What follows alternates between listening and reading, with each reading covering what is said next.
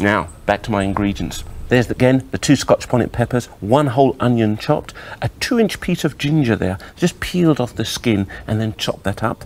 I've got one teaspoon of allspice. Now don't get that confused with mixed spice, they're two totally different things, and a good sprig of fresh thyme.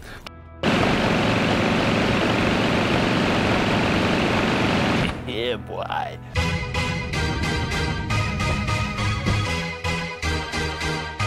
Josh.